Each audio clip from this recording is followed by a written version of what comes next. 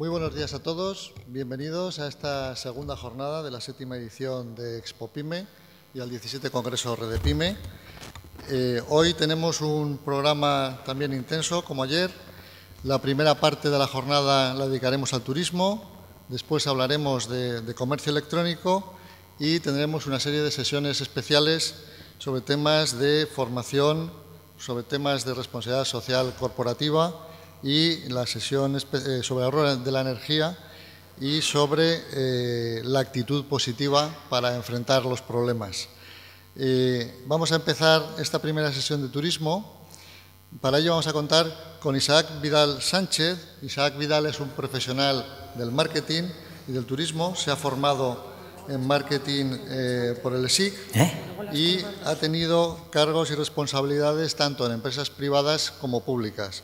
Ha sido responsable de marketing en empresas de consumo como Cárnica Serrano y eh, para destinos turísticos en el ámbito autonómico en la Agencia Valenciana de Turismo, en el Patronato Provincial de la Costa Blanca y ahora es el responsable de Visitelche, el organismo autónomo local que está dedicando todos sus esfuerzos a plantear Elche como una alternativa turística eh, y sacar todo el valor que tiene Elche y que a veces ni los propios conciudadanos conocen pero que esta labor es, fundamental hacerla. Y para ello nos va a hablar del proyecto Visitelche y de la transformación de la ciudad a través del turismo. Después nos presentará la intervención de Isabel Garaña, de la Oficina de la Organización Mundial del Turismo. Eh, cuando quieras, Isaac. Gracias. Adelante. Buenos días a todos. Muchísimas gracias a la organización por darnos la oportunidad de, de contar el proyecto Visitelche. He preparado una presentación muy rápida de 15 minutos en la que voy a intentar sobrevolar todo lo que estamos haciendo. He llamado a la ponencia la transformación por turismo porque creo que realmente esto va de transformación. Eh, mi intervención se divide en tres partes.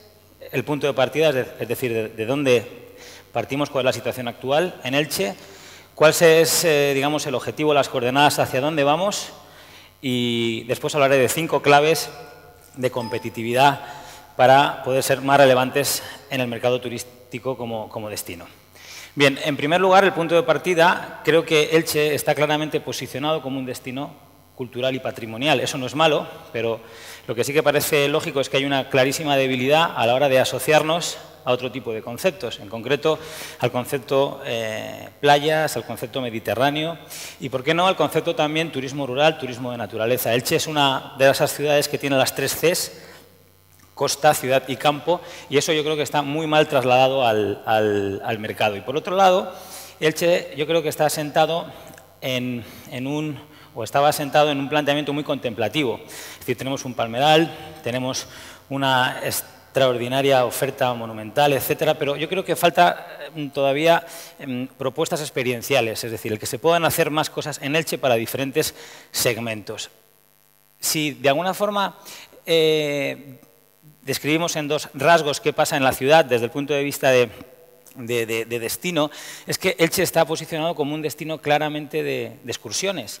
Y obviamente tenemos que empezar a transformar eso y empezar a tratar de situarnos en un mercado que crece cada vez más, como es el mercado de escapadas, y por eso tenemos que trabajar en un Elche de 24 horas, de 48 horas y de 72 horas, es decir, para vender un fin de semana, un fin de semana largo, porque realmente Elche tiene capacidad para ser competitivo en ese mercado de escapadas. Y también es fundamental, digamos, el, posicionarnos mejor, si cabe, en el mercado de congresos, convenciones e incentivos, y por qué no, en el mercado de circuitos. Elche no está en el mercado de circuitos culturales. Para atacar, por ejemplo, al mercado japonés o al mercado ruso, es importante o tener una oferta claramente de sol y playa, por ejemplo, para el mercado ruso, o tener una propuesta de 15 o 10 días. Elche ahora mismo no la tiene, pero en cambio, si nos asociamos con destinos como pueda ser Segovia, como pueda ser Valencia, como pueda ser Madrid, podemos establecer circuitos muy, realmente competitivos, pero para eso hace falta trabajar en red con otros destinos. Y otro elemento importante es que Elche es una ciudad claramente industrial, y emprendedora, pero que realmente no tiene un discurso turístico, es decir, la, sociedad no está sensibilizada en, lo que realmente, en las oportunidades que realmente Elche puede ofrecer en el plano turístico. Por eso es muy importante la sensibilización ciudadana y el potenciar el emprendimiento. Y voy a tratar de explicaros muy rápidamente cómo estamos trabajando estas, estas líneas. Formación, sensibilización y emprendimiento yo creo que es lo que hacen que al final sea el destino más competitivo, es decir, para que pasen aquí cosas, para poder ofrecer experiencias, para ampliar digamos, nuestro, nuestro catálogo al mercado, hace falta que el empresariado apueste por el turismo. Hace falta que la sociedad ilicitana y ese espíritu emprendedor centre su atención en que realmente Elche tiene muchas características para poder ser turístico. Pero para eso hace falta que aflore industria y para eso hace falta un plan. Bien, nosotros vamos a trabajar obviamente con una hoja de ruta. Esa hoja de ruta la hemos llamado el Plan Director de Turismo de, de Elche. Tiene cuatro grandes áreas. La primera es un plan de marketing, un plan de marketing que trate de corregir ese posicionamiento del que os hablaba y que centre mucho más eh, su atención en esa versatilidad, en un Elche más versátil, más capaz de sorprender a más segmentos de, mercado y que tiene como característica principal una apuesta clara por las nuevas tecnologías, por crear una marca digital robusta, potente, fuerte y relevante. Y que obviamente no es solo nuevas tecnologías, hay muchos más planteamientos, pero por destacar alguna, esa sería un poco la central.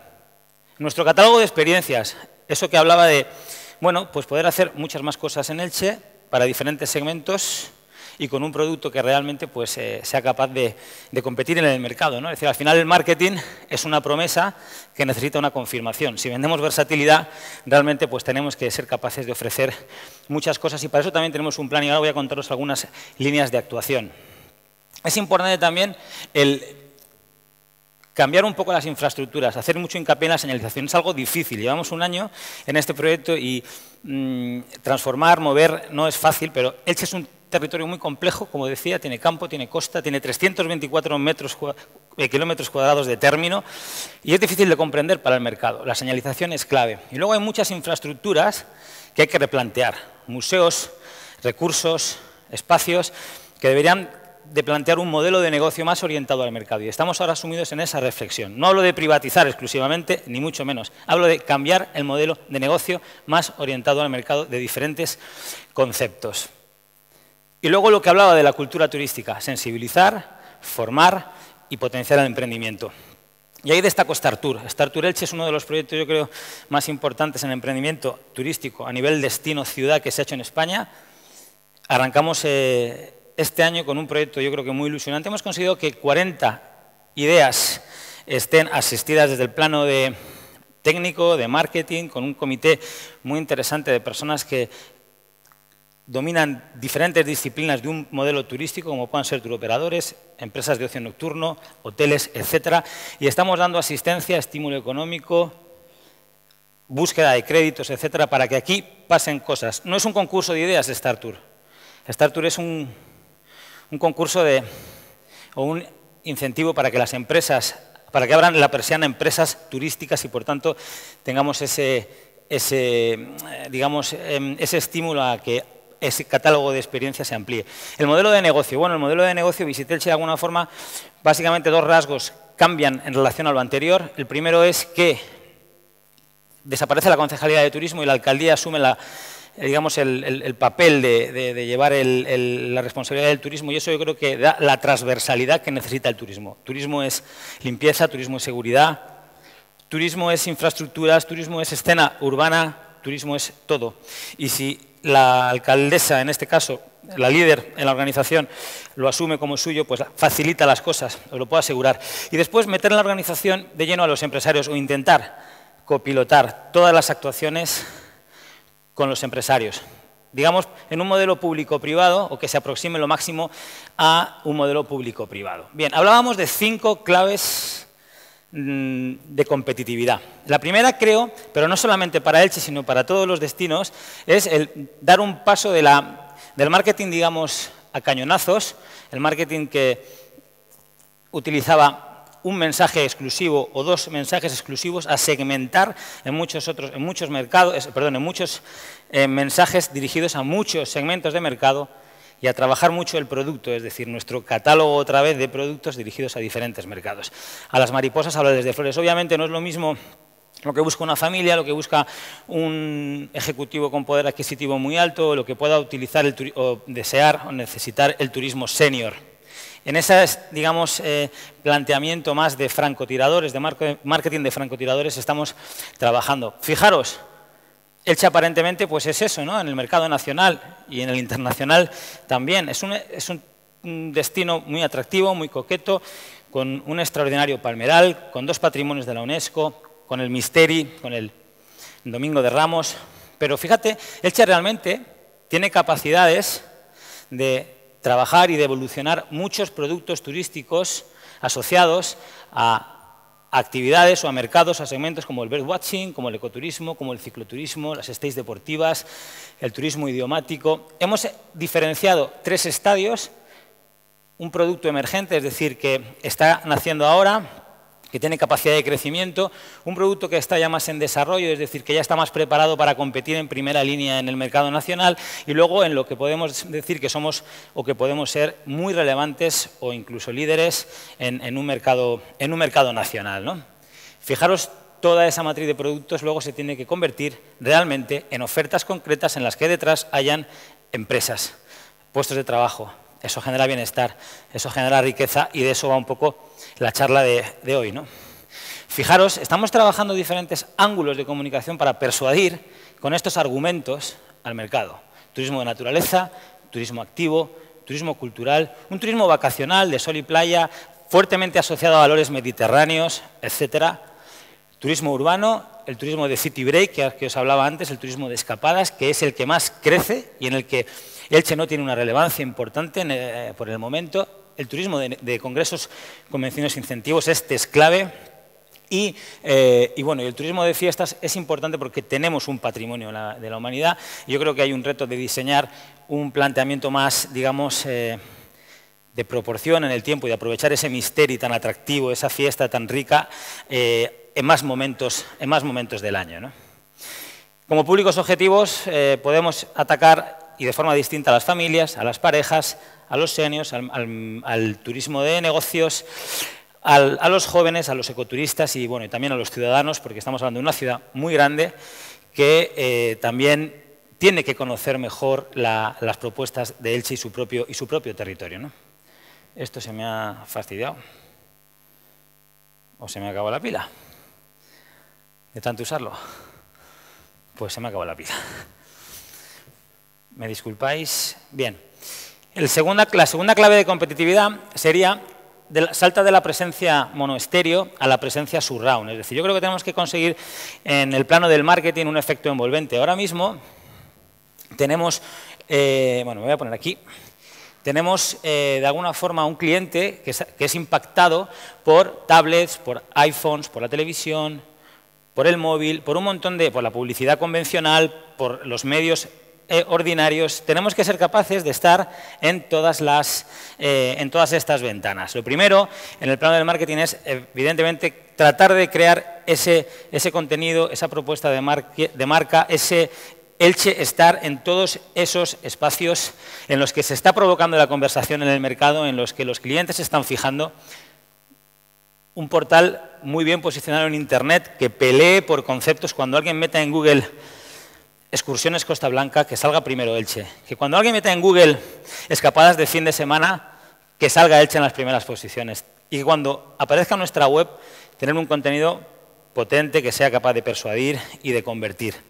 Por supuesto, dirigirnos también a las tecnologías móviles y ser capaces de conversar en las redes sociales. Estamos haciendo, yo creo que consiguiendo una marca con Visit Elche y con mm, mm, Elche Oasis Mediterráneo a nivel eh, digital de primer nivel, con unos volúmenes tanto de, conversación como de crecimiento de, seguidores en redes sociales importante para el poco tiempo que, llevamos. Partíamos de cero, eso también es verdad. No había una estrategia online, no existía, cuando realmente el 80% de los clientes o se inspiran o planifican o reservan a través de Internet. Esto sigue sin funcionar. No pasa nada. ¿eh? Bueno le damos aquí. La tercera, eh, el tercer factor de competitividad, yo creo que es clave, es eh, pasar del monólogo a la conversación, es decir, conversar con el, con el, con el cliente. La publicidad cada vez tiene más claro el mercado que miente, ¿no? Los mensajes corporativos de soy el mejor, el típico vídeo que todos tenemos en la cabeza de ven a Elche, tal, tal, son muy caros en inversión y cada vez el cliente los valora menos. La gente se está moviendo por comentarios de otros usuarios, por opiniones de otros usuarios, por contenidos que generan otros usuarios, de forma que la humanización cada vez es lo que convence a los clientes a tomar su decisión. Un comentario en un blog, un vídeo que cuelga una persona en su Facebook y me inspira para estar allí, y para ir allí, incentivar ese, contenido, tener a la organización capaz, orientada a crear contenido en las redes sociales, a comprometerse a contestar si alguien pone un tweet acerca de algo relacionado con la ciudad, contestar inmediatamente, tener un compromiso con la audiencia, porque si te metes en redes sociales tienes que tener un compromiso con, con la audiencia y eso es importante. El cuarto factor de competitividad, yo creo que este es el más importante de todos, sin lugar a dudas, es pasar de centrarte en la calidad de la experiencia a todavía centrarte más aún en la calidad de la experiencia y más ahora en este entorno en lo que pues puede pasar lo siguiente. Me venden esto en un catálogo, me siento, cuando llego al baño de, de, lo que he comprado en ese catálogo, en ese sitio, miro a mi izquierda y veo esto. Y ya tengo mi reputación fastidiada. Tengo que tener muy consciente ahora que con las redes sociales la calidad de la experiencia es todavía más importante. Fijaros, esto es lo que vende un catálogo de un hotel y luego la realidad puede llegar a ser esta. Esto para la reputación es dramático. Así es como vende el Hyatt, que está el Capitolio donde desayuna Obama, y realmente pues el Capitolio, mira, queda a tomar por el saco, y eso después se penaliza. Ese tipo de gaps son los en los que hay que, tener hay que estar muy atentos. Estamos trabajando fuertemente a la calidad, nos hemos adherido al programa SICTED, que es un compromiso de la calidad en la que Elche eh, es la primera ciudad grande de la comunidad valenciana que, se ha acogido a este programa y que hemos tenido una respuesta extraordinaria en un montón de empresarios. Al final es poner atención en, la calidad, dar herramientas a los empresarios, a las instituciones, porque también nosotros mismos nos estamos auditando para tratar que esa experiencia sea lo mejor posible. Y luego atender a la reputación online, es decir, ¿qué están hablando de nosotros? Yo creo que es una oportunidad cuando una persona pone en un tuit que hay una cagada de perro o que un lavapiés no funciona en una playa. Es la mejor garantía de calidad. Tengo que utilizar eso para comprometerme a arreglarlo, comunicar que lo voy a arreglar y utilizar las redes sociales para escuchar y para mejorar mis sistemas de, calidad. No sé si me explico, pero creo que esto es mm, fundamental y central en, la estrategia.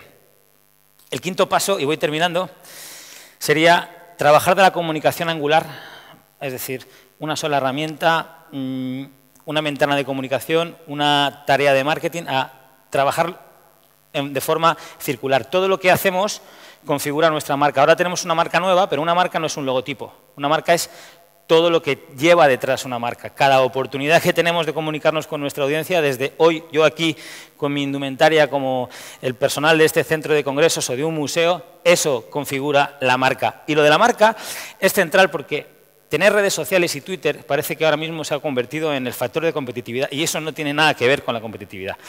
Yo creo que tenemos que crear, construir marcas que persuadan, que estén bien posicionadas en el mercado. Al final, ¿qué es una marca? En este esquema, yo creo que se comprende muy bien lo que para nosotros, lo que, bueno, lo que, creo que es una marca que es controlar cuatro variables.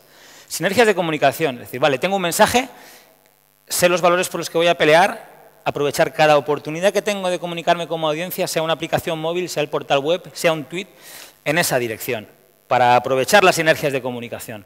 Valores. Nike, por ejemplo, compite por esfuerzo, sudor, superación. Y New Balance, que parece que es una marca parecida, compite por equilibrio, por bienestar, por karma, Steve Jobs. En fin, esos conceptos, esos valores son los que tenemos que definir primero para después ser perseverantes y conseguir llevarnos a ese terreno a la marca.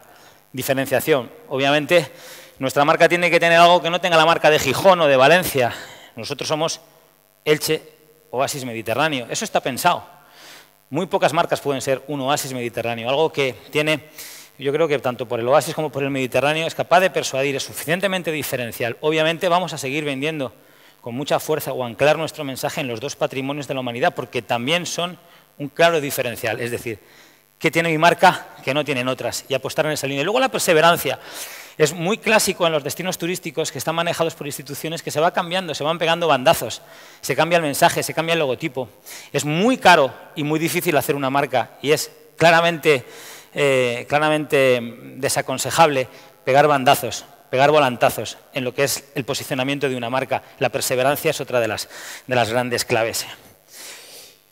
Bueno, eh, no os voy a torturar con esto. Eh, y ya por último, y para concluir, os cuento un esquema, que es el esquema en el que nosotros estamos trabajando mm, para intentar ser más, más relevantes que nuestros destinos rivales en el mercado. Ese es el ciclo de vida del viajero. Nosotros queremos centrarnos lo máximo posible en el viajero. Nosotros hablo de, la organización Visitelche. El viajero empieza su fase en la inspiración, cuando se está tomando una cerveza con un amigo y el amigo le comenta una cosa o lee en su timeline de Facebook, efectivamente lo que os decía antes, un comentario que le seduce a, ostras, pues esto tiene que estar chulo. ¿Cómo tengo que estar yo en esta fase mejor que mis rivales? ¿Qué puedo hacer con las herramientas que tengo a mi disposición para poder inspirar a mi cliente en los diferentes segmentos, con los diferentes productos que tengo para ser relevante? Decisión, vale, tengo que decidir dónde voy. voy a este sitio. Necesito herramientas para planificar mi viaje. Necesito un mapa, una aplicación, herramientas de geolocalización. Pónmelo fácil, dame herramientas para hacerme el viaje confortable. Y pónmelo mejor que el rival, porque el cliente está un golpe de clic en muchas ocasiones cuando está tomando la decisión.